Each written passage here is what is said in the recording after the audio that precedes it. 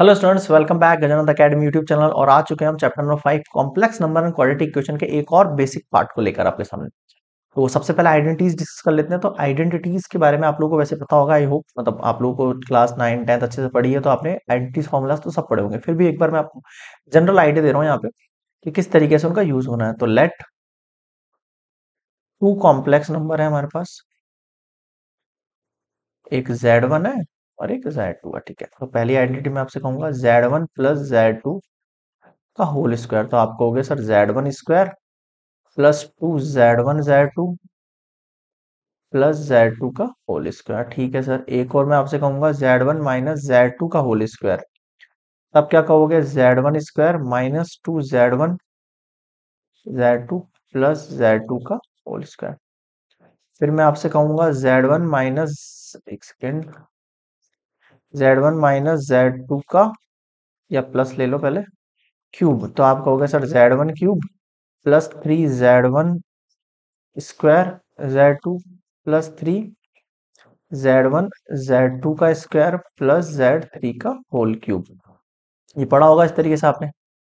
एक और देखो Z one minus Z two का होल क्यूब अब क्या कहोगे? जेड वन का cube minus three Z one square Z two plus three Z one और जेड टू का होल स्क्वायर फिर माइनस जेड टू का होल क्यूब कुछ आया समझ में? हाँ सर आया तो सही। आगे देखो, एक और आइडेंटिटी लेता हूँ मैं लास्ट वन से बच गई? जेड टू जेड वन एक से Z one plus Z two और ये Z one minus Z two कितना हो जाएगा ये? जेड वन का स्क्वायर माइनस जेड टू का स्क्वायर अब बताओ, समझ में आया क्या? हाँ सर आ गया। क्लियर ये आइडेंटिटीज है जो मतलब नॉर्मली यूज़ होने वाली है। आगे देखो।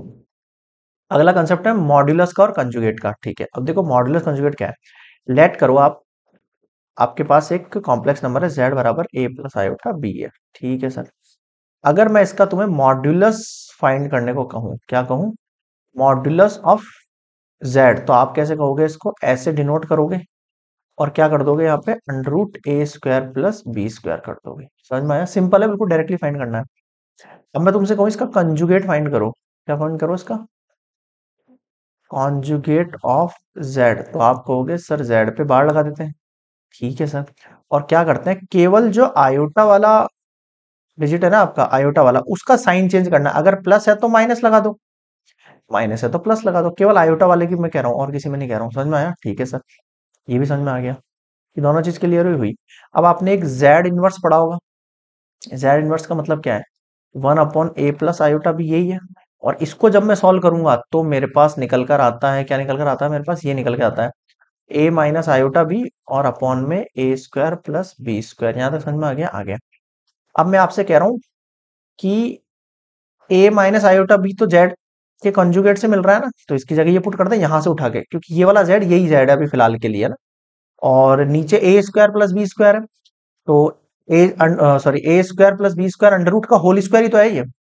क्या है ये एक्चुअल में? अगर मैं A square plus B square की मुझे वैल्यू पुट करनी है तो क्या करूँगा? A square plus B square के ऊपर होल स्क्वायर और इसको सॉल्व करूँगा तो मेरे पास निकल कर आ जाएगा Z inverse equals to Z का कॉन्जुगेट और ये एक्चुअल में आपके पास क्या है? जेड का मोड का है होल स्क्वायर अब बताओ समझ में आएगा ये जो वैल्यू है आपके पास A square plus B square मैं इसको ऐसे लिख सकता हूँ क्या? कुछ भी नहीं किया मैंने अंडरूट लगा के स्क्वायर लगा दिया। भैया अंडरूट लगा के स्क्वायर लगाने का मतलब यही तो वैल्यू है। और मैं इसकी जगह जेड का मोड का स्क्वायर लिख सकता हूँ क्या? हाँ सर लिख सकते हो। तो यहाँ से एक कंसेप्ट निकल कर आया हमारे पास। यहाँ से एक कंसेप्ट निकल कर आया हमारे पास। क्या निकल कर आया? कि जो z इनवर्स है, वो z के मोड का स्क्वायर होता है और वो z के कॉन्जुगेट के बराबर होता है। देखो, आपको तीनों में से जो भी दो वैल्यू दे रखी हो, एक आप आंसर फाइंड कर सकते हो इस तरीके से। बताओ, समझ में आया क्या?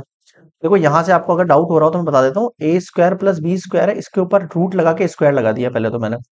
रूट लगा के क्या लगा दिया? स्क्वायर लगा दिया, क्योंकि रूट को जब मैं वापस ओपन करूँगा हाफ़ और फिर इंटू टू तो ये कट के एक्चुअल में यही बनेगा। अब इस चीज़ की वैल्यू मेरे पास मॉड्यूलस थी। ऊपर स्क्वायर मैंने लगाई दिया, सिंपल ये लो हो गया आपका यहाँ तक। यहाँ तक कोई डाउट है? नहीं है। अब इसकी कुछ प्रॉपर्टीज़ बता देता हूँ मैं आपको। क्या बता देता हूँ इसकी कुछ? प्रॉपर्टीज़। कैसे? अगर Z1 वन इंटू का मोड दे रखा है तो एक्चुअल में वो जेड वन का मोड और फिर जेड टू का मोड अलग से फाइंड हो सकता है। अगर आपको ऐसे दे रखा है जेड वन और जेड टू का कंजुगेट तो उसको भी आप जेड वन का कंजुगेट और जेड टू का कंजुगेट करके मल्टीप्लाई कर सकते हैं। अगर आपको ऐसे डिवाइड में दे रखा है Z one upon Z two का कंजुगेट तो आप उसको जेड वन का कंजुगेट अपॉन जेड टू का कंजुगेट कह सकते हो, ठीक है? और बताता हूँ आपको मैं यहाँ पे, अगर आपको Z one plus minus Z two का कंजुगेट दे दिया है तो आप उसको जेड वन का conjugate plus minus Z two का कंजुगेट कह सकते हो, ठीक है? और कौन से रहेगा इसमें? देखो जेड वन जेड टू आ गया, और आप ले सकते हो जेड वन का कंजुगेट का मोड और जेड टू का। तो इसको आप Z one dot Z two का मोड, ये भी कह सकते हो। ये समझ में आ गया? ये कुछ प्रॉपर्टीज़ है जो आपको पता होना चाहिए ये इंपॉर्टेंट फॉर्मूला है भाई आप लोगों के लिए। सबसे इंपॉर्टेंट यही फॉर्मूला है जो यहाँ पे मोस्टली एक्सरसाइज में यूज़ होने वाला है। क्या याद रखना कि जेड इनवर्स जो होता है, उसको जब मैं जेड के मोड के स्क्वायर से मल्टीप्लाई करूँगा तो मेरे पास जेड कॉन्जुगेट निकल कर आ जाएगा। बताओ यहाँ तक समझ में आ गया? आई होप आपको सारा बेसिक कंसेप्ट क्लियर किया होगा हमने। अगर आपको वीडियो पसंद आ रहा है तो please like share and channel को सब्सक्राइब कर लो ताकि इसी तरीके से हम पूरा बेसिक कंसेप्ट आप लोगों के साथ शेयर करें और अब फ्यूचर के अंदर जो है जेई और नीट के लिए जो हम एस्पिरेंट्स के लिए प्लान कर रहे हैं, वो सक्सेस हो जाए। मिलते हैं नेक्स्ट वीडियो में, हम एग्ज़ाम्पल और एक्सरसाइज की बात करेंगे। Good bye